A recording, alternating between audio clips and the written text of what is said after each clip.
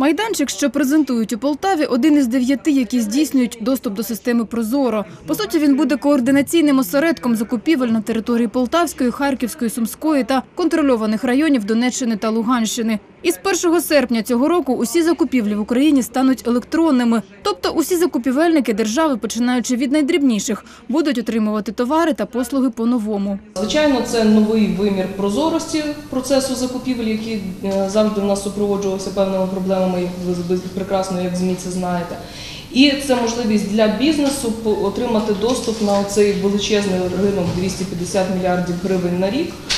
Тому що зараз це стало набагато простіше взяти участь, перемогти в державній закупівлі. Користування системою Прозоро, тобто реєстрація, оголошення торгів, є безкоштовними для державних замовників. Постачальники так само безоплатно реєструються на будь-якому із електронних майданчиків і сплачують кошти лише тоді, коли беруть участь у закупівлі. Залежно від суми торгів, вартість участі варіюється від 17 до 1700 гривень.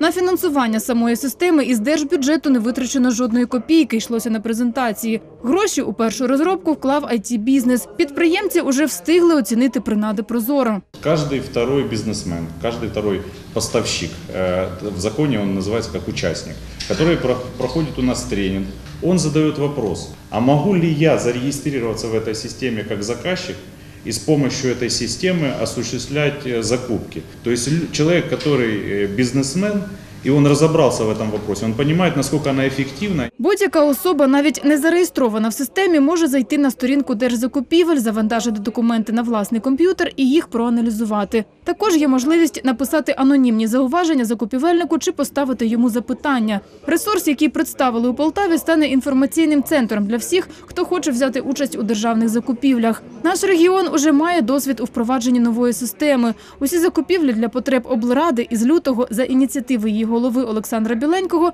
відбувалися за публічними аукціонами.